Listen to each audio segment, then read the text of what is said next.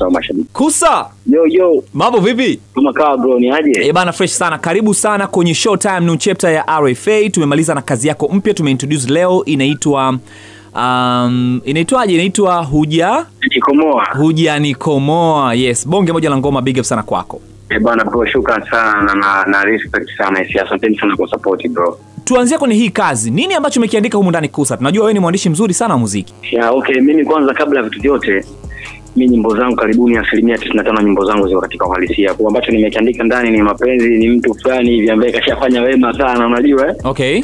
alafu huo wema anajua kwenye nafsi yake, lakini kuna watu pembeni wamekaa tu wana yani, yani iko hivyo, yani mtu anafanya wema alafu anafanyiwa kitu kimoja kibaya ambacho hata hakutarajia kwenye maisha yake Na ule wema wa- wake wote unafutika. ya, lakini mwisho wa siku unakaa unasema kwamba hapana, hujanikumua kwa hili alafu ni la uongo, mimi bado hujanikomoa. Na umezungumza kitu hapo umesema mara nyingi sana katika nyimbo zote ambazo umekuwa ukiziandika na nadhani sio za kwako tu hata nyimbo za watu wengine ambao umekuwa ukiwaandikia um, umekuwa ukizungumzia maisha halisi ambayo yani vitu ambavyo vinatokea yani hata kama sio kwako labda pengine kwa watu wengine hiyo imetokea kwa kiasi gani yani kuandika vitu ambavyo vinatokea katika maisha yako mwenyewe binafsi ama maisha ya watu wako wa karibu ambayo unayaona Ah, okay. Kwa kweli nimeandika nyimbo nyingi sana zinazohusu maisha ya watu na maisha yangu pia. yani hata nyimbo inahusu maisha ya mtu, lakini lazima niingizie na kitu changu ambacho mimi nakifeel. Sababu ni binadamu, ni binadamu, kuna vitu nakutana navyo pia, kuna muda eh. Kwa hiyo mimi nyimbo zangu karibuni zote naangalia maisha yangu na maisha ya watu. Ukiangalia nyimbo ya benpo ya wapo, ni maisha ambayo alikuwa namhusu Ben Paul, nilikuwa namfuatilia kwenye mziki wake na nikaandika ngoma aina ile.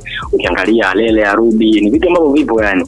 Okay sawa na na na uandishi wa nyimbo unakulipa una, una kiasi gani kwa sababu mimi nimeshafanya interview na artist wengi waandishi wengi wa nyimbo wakina fobi wakina nani wamekuwa wakilalamika sana hasa kwenye Yeah. malipo ya ya kazi ambazo wamekuwa wakizifanya wamekuwa wakiandika ngoma ambazo baadaye zinakuja kuwa kubwa sana na zinapata mm. nafasi kubwa sana artist wanapata hela nyingi sana lakini hawawakumbuki wasanii ambao wa- amini waandishi ambao wamewaandikia hizo ngoma wewe zimekuwa zikikulipa yeah. kwa kiasi gani Okay, mimi kwa upande yangu kwanza namshukuru Mwenyezi Mungu. Mwanzo ilikuwa shida sana, ila mimi fanbase yangu ya uandishi sana sana sasa hivi sana Kenya, na Kenya kule wenzetu wanatoa hela kiasi chake, yani kule ukiandika ngoma milioni mbili, milioni mbili na nusu, imepungua sana milioni moja na nusu. kwao. nimekuwa nikiandikia sana Wakenya kazi, lakini pia katika kazi zangu zinizoziandika ukiacha kazi za Rudi, wasanii wote ambao nimekubaliana nao, kama mtu hajanilipa basi kuna faida naipata kutoka kwake. Kwa sijawahi kujuta hata siku moja. na kenya ni, ni, ni artist wangapi ambao umeshawaandikia uh, ngoma sofa. Ni, ni, yani amini ni artist gani ambao umeshamwandikia ngoma sofa? Okay, kuna Ben Paul nimeandika wapo,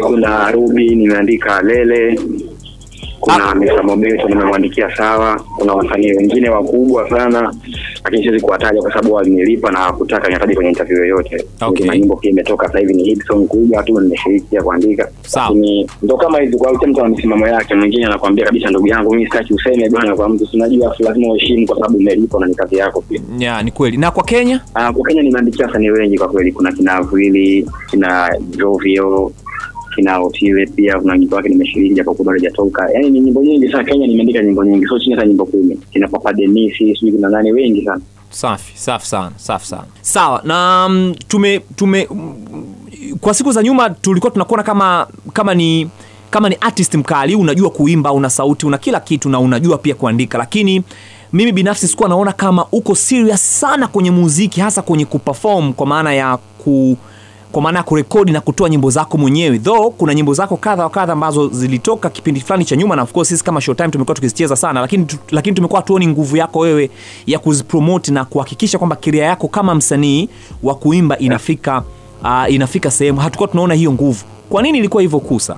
Uh, okay, kwanza kabisa unajua ni kila kitu ni mipango kwenye maisha. Mimi kuna muda ilifikia nilikuwa natafuta njia ili ya kutengeneza mziki wangu uonekane mkubwa, na ndio maana hata hizo ngoma zenyewe pia nilikuwa sizirelease sehemu zote. Kwa nitaka kutoa ngoma naweka kwenye YouTube yangu ili watu wajue nipo tu, la nilikuwa natengeneza mazingira. Ndio maana mpaka leo niko na mazingira mazuri na redio, niko na mazingira mazuri na wasanii wenzangu, niko na mazingira mazuri na kila mtu. Kwa sababu hata nikiachia kazi naweza kufika ninapotaka mimi, lakini mwanzo nilikuwa nafanya zile kwa sababu nilikuwa niko peke yangu, kwa nahitaji kutafuta watu wangu ili kazi zangu ziweze kufika kwa ukubwa zaidi. Ah, okay sawa sawa na mm, kutokana na hii ngoma tumeisikiliza hapa kwenye Showtime sasa hivi na mm, na kama jinsi ambavyo umesema pale mwanzoni kwamba mara nyingi umekuwa ukizungumzia maisha yako, hiki ambacho kinaendelea sasa hivi katika mitandao kuhusiana na wewe, hasa na mahusiano yako na mama mtoto wako, uh, ndo hiki ambacho umekiandika katika hii ngoma Kusa? Ah, hapana hapana hapana hapana hapana kwa kweli. Nimeandika nyimbo kutokana na idea tu niko studio niko na hii kitu hii ni nzuri nzuri lakini sijaandika kwa sababu ya mama mtoto wangu. Kwanza namheshimu sana kabla ya yote namheshimu mtoto wangu pia. Na mimi siwezi kumwelezea chochote kibana kama kwenye nyimbo nimeelezea vitu lakini pia siavimuhusu yeye. Nimeelezea tu. Inaweza kumkuta yoyote yule yani katika hii dunia si unajua? Okay. yeah. na hiki ambacho kinaendelea sasa hivi ni nini hasa? Kwa sababu kumekuwa kuna drama nyingi sana kwenye mitandao kuhusa na nilikuwa na kuomba sana sana sana upate nafasi ya kuclarify hilo kwa sababu najua wewe ni msanii ambaye unakuja na, na, na unaanza kutengeneza mashabiki sometimes unaweza kuna mashabiki unaweza kuwa wameanza kuwatengeneza alafu wakawa disappointed na story fulani ambazo wanakutana nazo katika mitandao. Na kwa bahati mbaya kuna baadhi ya sisi waandishi tumekuwa tuki tuki tukikava story na kujaji pale pale. Unajua zile hatupati hatu, hatu, hatu, hatumpi mtu nafasi ya kuzungumza. Mimi nime- nimeamua kukupa nafasi ya kuzungumza. Hichi ambacho kinaendelea ni nini? Kwa sababu siku za nyuma tulisikia wewe unamwaccuse ruby kwamba ame, amecheat kidogo ametoka na na, na, na, na jukes na nini wiki iliyopita pia uh, ruby pia ame- amekuaccuse wewe kuwa kuwa abusive kuwa ni, ni, ni, ni mwanaume ambao ulikuwa ukimtesa ukimpiga na nini. Hebu clarify yote hayo kuhusa sasa hivi nakupa hiyo nafasi.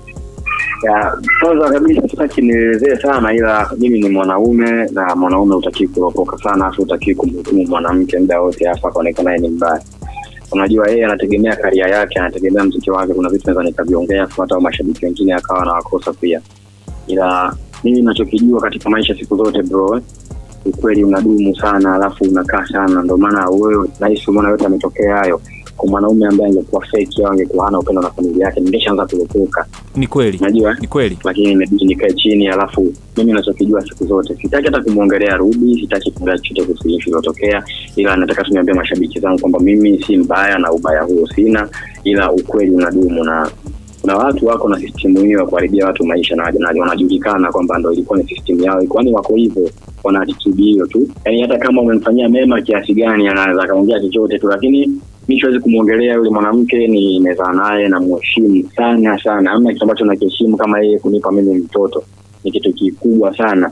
Kwa hiyo mimi nimeamua nikae kimya niwaachie kwanza watu waongee lakini ukweli unadumu na utajitenga. Na kama mwenyezi mungu yupo tuyache tu haya maisha yaendelee bro na um, wewe na ruby bado mko pamoja?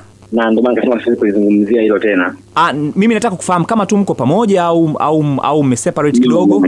tuko pamoja. Ah, okay safi sana. Bana kusa big up sana kwako. Chochote cha mwisho ambacho ungependa kushare na shabiki sasa hivi ngoma kali sana na itakwenda sana hii. Ai bana bro, nashukuru sana kwanza kwa kunipigia simu na kunipa nafasi, ni jambo la busara sana, lakini pia natumai hapa ninapoongea mashabiki zangu wapo wengi na wananisikiliza sana. Mimi nataka tu niwaambie kwamba mimi nawapenda sana na mimi ni mwema sana, si kama najisifu, ila sita disappoint na ngoma hii imetoka hujanikomoa, na hisi ni ngoma kali sana na inastahili sana kukaa kwenye mstari ya bongo flava. Kwa hiyo tuipush ngoma, tufanye kazi, afu mambo mengine yatakaa vizuri tu. Mi nawapenda sana watu wangu. Instagram na facebook? Ya instagram natumia kufa kufa ya kusah facebook sina ila youtube pale ukiingia utakusa utakuta kufa tv ukisubscribe pale utakutana na kazi zangu zote. Umetisha sana mwanangu. Big up sana kwako kusa.